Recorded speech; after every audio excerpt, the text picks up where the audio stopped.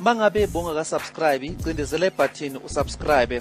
Namhlanje ke ngizobheka indaba ze-PSL uKevin Moyo and u-elvis Moyo abadlali bandawonye um bavela laphana kezweni laseZimbabwe um sebalishile ke iqembu le-chipa United uDiamond Topola uMeshak Maphangule eh, uTeshias Malepe nabo ke sebalishile iqembu eh, leChipa United. uCEO weChipa eh, United uLukhanyo Mzizi eh, uqinisekisile ukuthi ke labadlali eh, abasekho ke eqenjini leChipa United.